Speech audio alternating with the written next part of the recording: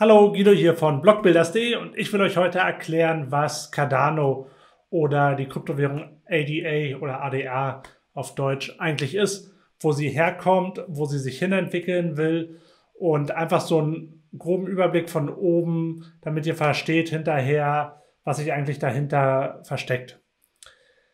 Cardano wurde 2015 von Charles Hoskinson gegründet. Das ist einer der Mitgründer von Ethereum gewesen. Es gibt ja eine Reihe, ganze Reihe Mitgründer bei Ethereum, also auch Vitalik Buterin beispielsweise und eben noch viele andere. Und äh, die Mitgründer haben sich irgendwann zerstritten und die Leute haben unterschiedliche andere Kryptowährungen ins Leben gerufen.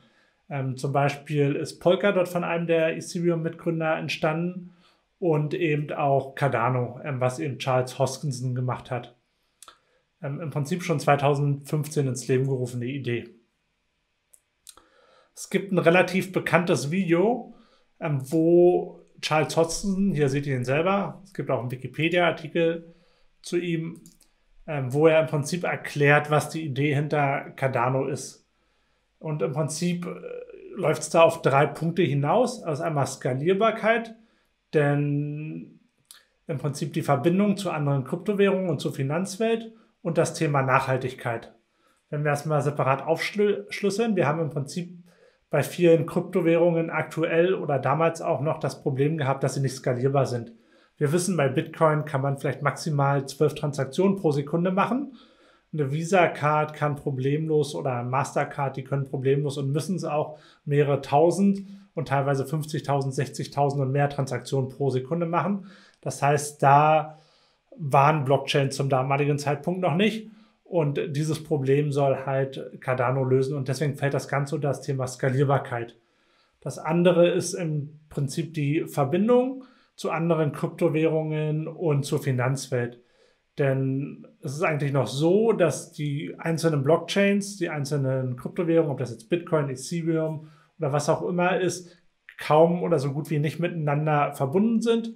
Atomic Swaps, den Begriff gibt es jetzt schon länger, aber so richtig genutzt wird das auch nicht. Und eben da will Cardano auch ansetzen und eben auch eine Brücke schlagen zu anderen Kryptowährungen und auch nach außen und so zum Beispiel auch der Finanzwelt ermöglichen, Transaktionen auf der Cardano-Blockchain durchzuführen. Und das dritte ist im Prinzip ähm, die Nachhaltigkeit. Und es ist so, dass gerade damals, aktuell wird es ein bisschen besser, aber damals eben die größten Kryptowährungen, Bitcoin, Ethereum, und was es alles gibt, im Prinzip auf Proof of Work basieren und dafür halt gemeint werden muss und dabei halt sehr viel Energie verschwendet wird. Und auch da will Cardano ansetzen mit Proof of Stake. Wichtig bei Cardano ist auch noch, dass dort wissenschaftliches Arbeiten im Vordergrund stehen soll. Das heißt, man will sich halt Themen annähern, indem man sie wie in der Wissenschaft erforscht und dann auch umsetzt. Deswegen arbeitet Cardano auch mit vielen Universitäten zusammen. Relativ bekannt ist da zum Beispiel die University of Edinburgh, mit der Cardano relativ viel macht. Und Cardano an sich wird das Protokoll genannt. Ähm, Cardano hat aber auch eine eigene Kryptowährung, die, wie er schon gesagt, ADA oder ADA genannt wird, je nachdem, wie man es ähm, ausspricht. Wir hatten gesagt, dass Cardano auf Proof of Stake basiert. Das heißt, es gibt dort kein Mining, wo immer wieder neue Blocks erschaffen werden, die im Prinzip Transaktionen bestätigen, sondern bei Proof of Stake ähm, funktioniert das so, dass man im Prinzip Kryptowährungen hinterlegen kann und dann werden dadurch ähm, Transaktionen bestätigt. Und im Prinzip mit den hinterlegten Kryptowährungen sichert man das ab, dass man das auch richtig bestätigt. Ähm, das hat Cardano im Prinzip als Basis und die haben daraus das sogenannte ähm, hoffentlich spreche ich es jetzt nicht falsch aus, ist relativ kompliziert zu sagen, Oboros-Protokoll entwickelt. Ähm, das ist im Prinzip ihre Variante von Proof of Stake. Und das hat sich im Prinzip so gut durchgesetzt, dass auch andere Kryptowährungen aufgegriffen haben, diese Idee und darauf ähm, im Prinzip ihr Proof of Stake aufbauen.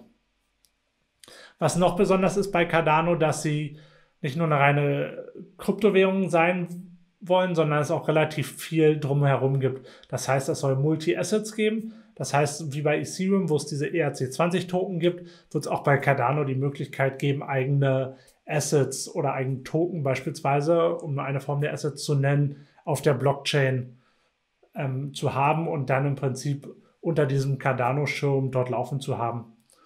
Darüber hinaus soll es auch Smart Contracts beispielsweise geben, wie es sie jetzt auch schon jahrelang bei Ethereum gibt. Und damit kann man dann natürlich auch sogenannte DApps, also Decentralized Applications, ähm, bei Cardano auf der Blockchain laufen haben. An sich wird die Cardano Foundation von drei Institutionen geführt und gesteuert. Wir haben einmal die Cardano oder Cardano an sich, wir haben einmal die Cardano Foundation als gemeinnützige Stiftung und die übersieht im Prinzip das gesamte ähm, Netzwerk oder Protokoll und vermarktet es nach außen. Dann gibt es Emogo, das ist im Prinzip eine japanische Firma und das soll so das Kommerzielle nach außen darstellen. Das heißt, wenn jemand oder eine Firma was auf Cardano umsetzen will, ist im Prinzip Emogo der Ansprechpartner. Und dann gibt es noch HO, ähm, oh, IOHK, also IOHK, Input Output Hongkong.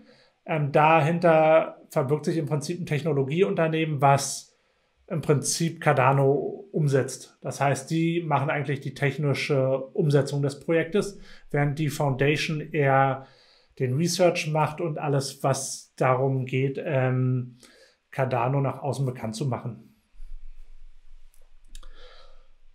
An sich war bei Cardano immer die Idee, eine Roadmap zu haben und diese sukzessive umzusetzen.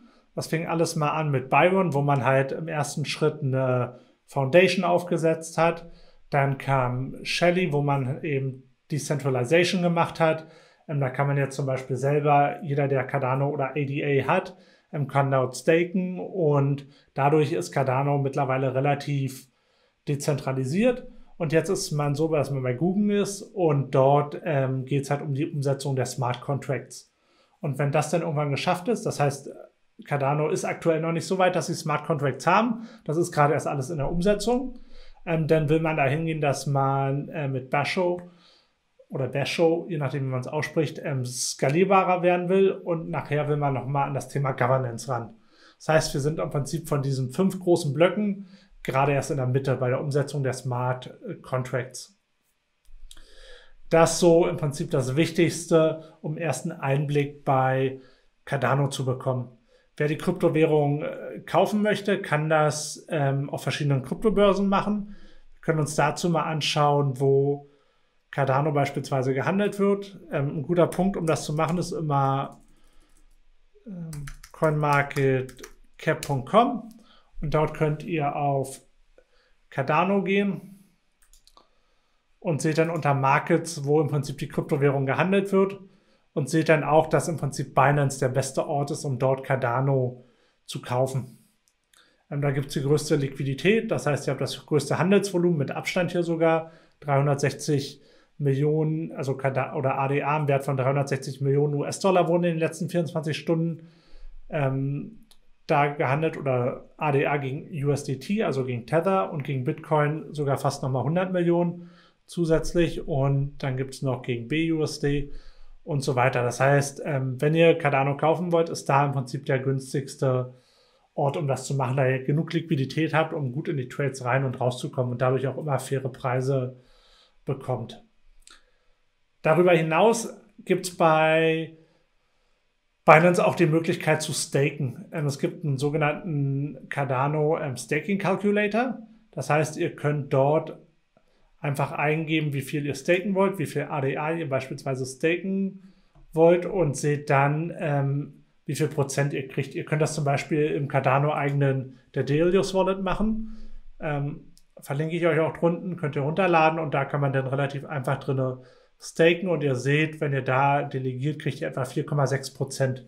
Ich habe das vorher gecheckt, bei Binance ähm, gibt es teilweise 9 Prozent, wenn ihr dort staked. Das heißt, macht Sinn, sich diesen Rechner mal anzuschauen und mal zu vergleichen, was man im eigenen Wallet hat und was man im, bei Plattformen wie Binance kriegt. Binance ist eigentlich das attraktivste gerade, wo ich mir das angeschaut habe. Da kriegt man, ähm, wenn man das 90 Tage staked, ähm, teilweise 9% Zinsen drauf. Also die Zinsen sind natürlich per anno, also pro Jahr. Das heißt, die 90 müsste man dann durch 360 teilen, um die Zinsen rauszukriegen, die man für diesen Zeitraum kriegt. Kann man auch nur 30 Tage anlegen, kriegt dann ein bisschen weniger Zinsen, aber in der Regel ist man immer über diese 4,6 Prozent, die man kriegt, wenn man das selber anlegt im Dedelius Wallet.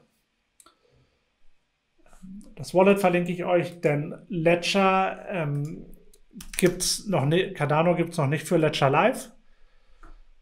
Da ihr könnt euch aber das sogenannte Yoroi Wallet oder ADA Lite Wallet runterladen und könnt dann damit ähm, im Prinzip das mit dem Ledger zusammen nutzen. Das heißt, ihr hättet da auch die Möglichkeit, euren Ledger zu nehmen und mit den zwei Wallets, die hier angegeben sind, das zu verbinden und dann das auf dem Ledger zu speichern. Es geht halt nur nicht in der Ledger Live App für alle, die einen Ledger haben. So, das ist das Wichtigste. Ich hoffe, ich konnte euch einen groben Überblick geben, wo Cardano herkommt, wo sich das hinentwickelt, wo man derzeit ist was das alles mal sein sollte und wo ihr das kaufen könnt und was beim Staking ähm, eigentlich Sinn macht. Falls ihr noch Fragen habt, nutzt gerne unten die Kommentare. Wenn ihr das Video hilfreich fandet, würde ich mich freuen, wenn ihr den Kanal abonniert. Wenn ihr noch kein Cardano oder ADA habt, könnt ihr auch gern unten den Binance-Link nutzen und ihr spart dabei nochmal 10% Gebühren, wenn ihr dort Cardano kauft. Und ihr könnt natürlich auch dieses profitable Staking machen.